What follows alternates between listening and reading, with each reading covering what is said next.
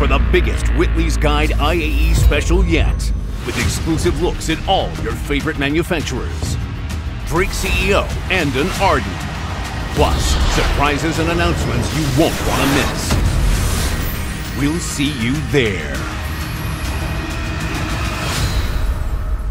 Ja, Freunde, die Intergalactic Aerospace Expo startet am 18. November und hier auf dieser Seite haben wir jetzt einen kleinen Countdown bis zum Beginn der IAE 2952. Ja, Wolski, das verspricht auf jeden Fall eine Menge und äh, hier auf dieser Seite gibt es jetzt noch ein paar Informationen. Die erste Frage, die sich natürlich stellt, Sitko, warum hast du das nicht in die morgige Verse News gepackt? Ja, was soll ich sagen? Die ist schon hochgeladen, die ist ist schon fertig. Das kam einfach zu spät.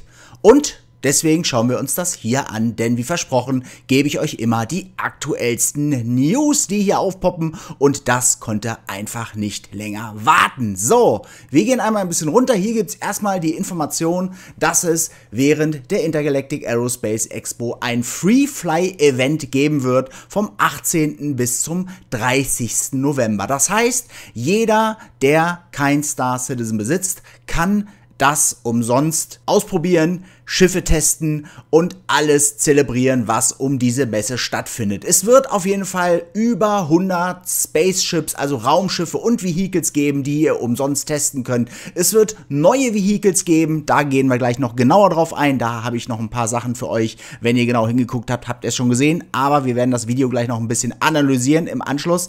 Und es wird auf jeden Fall Special Editions, Paints geben und Ingame-Items und das wird auf jeden Fall ein fantastisches Event werden. So, und hier unten gibt es nun die Schedule, also das Programm der Intergalactic Aerospace Expo. Und das Ganze startet, wer hätte das gedacht, mit Drake Interplanetary. Das hätte ich nicht gedacht. Das war jetzt zu den Verse News, die ich schon aufgenommen habe, dachte ich, das kommt eher zum Schluss, weil ja die Drake Corsair da letztendlich erst äh, ja, veröffentlicht wird und dann dachte ich, das wird bestimmt hier hinten irgendwo passieren, damit man die Spannung hochhält. Aber nein, Freunde, am ersten Tag werden wir die Corsair schon bekommen, können die ausprobieren. Es ist einfach fantastisch. Das Ganze, wie gesagt, startet am 18. November. Am zweiten Tag ist dann der 19. November. Also wie gesagt, nur ein Tag ist die Halle offen. Und da ist dann Origin Jumpworks. Dann am dritten Tag, am 20. November Aegis Dynamics. Am vierten Tag, am 21. November, haben wir dann die Alien-Hersteller Aopoa, die Banu Factory, Getak und Esperia. Und am fünften Tag, am 22. November, ist dann Invel Aerospace in der Halle auf Microtech vertreten. Microtech ist es übrigens, hatte ich noch nicht gesagt, sieht man aber im Video. Sehr, sehr schöne Location, freue ich mich schon drauf. Passt auch immer so ein bisschen zu Ende November, ist eine schöne Stimmung. Am sechsten Tag, am 23. November, haben wir dann Argo Astronautics, Grey Cat Industrial, Kruger Intergalactic und Consolidated Outlands vertreten in der Halle oder in den Hallen. Vielleicht sind es ja auch wieder zwei Hallen und der Tag davor ist dann trotzdem noch Anvil Aerospace, aber das schaut jetzt erstmal nicht so aus. Am siebten Tag, am 24. November, haben wir Crusader Industries und Timberland Systems. Am achten Tag, am 25. November, haben wir den Musashi Industrial and Starflight Konzern.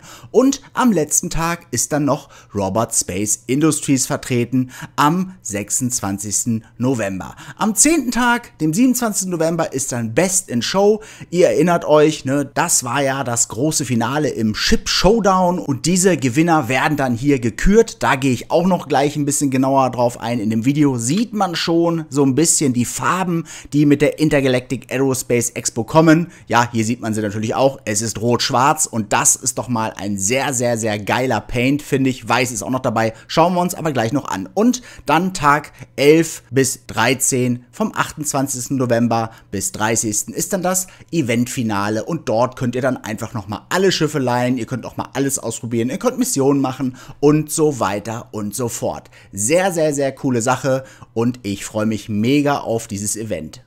Werfen wir nun nochmal einen Blick auf das Video. Ich habe hier mal ein paar Bilder rausgeschnitten. Natürlich werden wir am ersten Tag die Drake Corsair zu Gesicht bekommen. Da freuen wir uns, denke ich mal, alle drauf. Also der 18. November, Drake Corsair. Am Drake-Tag werden wir dieses Schiff dann fliegen können, ausprobieren können, angucken können. Ach, es wird einfach herrlich werden. Und ebenfalls am ersten Tag zur Drake-Ausstellung, so wie das aussieht, werden wir auch die Drake Vulture wieder zu Gesicht bekommen. Wir werden wahrscheinlich das finale Resultat sehen, so weit wie die Entwickler gerade sind, werden dieses Schiff begutachten können, reingehen können. Flight Ready wird dieses Schiff allerdings dann noch nicht sein, weil es ja noch auf der Roadmap der 3.18 steht. Außer Cloud Imperium Games hat hier eine kleine Überraschung für uns parat, aber das glaube ich nicht. Und, so wie ich das verstanden habe, Hauptsponsor dieser Intergalactic Aerospace Expo ist tatsächlich tatsächlich Drake Interplanetary. Und Enden Arden, der CEO von Drake, ist persönlich da und präsentiert uns neue Schiffe. Apropos neue Schiffe.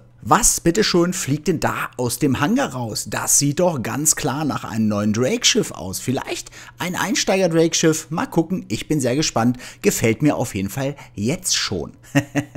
und dann bekommen wir noch einen kurzen Sneak Peek auf die diesjährigen Intergalactic Aerospace Expo Schifffarben für die Schiffe, die den Ship Showdown gewonnen haben. Wir sehen es hier anhand der Pisces, ein wunderschönes Rot-Weiß mit ein bisschen Schwarzakzent. Ich glaube, das wird ziemlich, ziemlich cool werden und äh, finde ich einen sehr, sehr geilen äh, Paintjob, muss ich wirklich sagen. Und dann ganz zum Schluss noch eine traurige Nachricht. Jax McCleary ist dieses Jahr nicht mit dabei und ich kann euch gar nicht genau sagen, das sieht hier fast so ein bisschen aus, als wenn der gute Mann irgendwie nicht mehr am Leben ist. Da müssen wir mal abwarten. Ähm, ja, bin sehr, sehr gespannt. Beim letzten Event war es ja so, dass er sich verabschiedet hat und sich nach Pyro aufgemacht hat. Vielleicht ist da ja was passiert, müssen wir mal im Auge behalten. Äh, auf jeden Fall sehr, sehr schade. Ja, und das war's auch schon mit dieser Special-Folge Verse News zur Intergalactic Aerospace Expo. Wie gesagt, ich freue mich mega, mit euch wieder zusammen über die Messe zu gehen, die Exponate zu begutachten und euch die neuen Schiffe vorzustellen. Ach, Freunde, wir werden eine wunderschöne Zeit haben. Dann gab es noch ein Star Citizen Live, was es ebenfalls nicht mehr in die morgige Verse News geschafft hat. Hier gab es eine Runde mit dem Mission Feature Team und hier gab es auch einen kleinen Ausblick auf die neuen Gefängnismissionen, die uns erwarten werden mit der 3.18. Aber dazu gibt es dann mehr in der nächsten Woche zu den Verse News. Vielleicht hat ja unser lieber Korrespondent Kahn wieder Zeit, das für uns zu übersetzen. Bis dahin soll es das gewesen sein. Ich wünsche euch eine schöne Zeit. Morgen, wie gesagt, die regulären Verse News. Bis dahin, tschüss.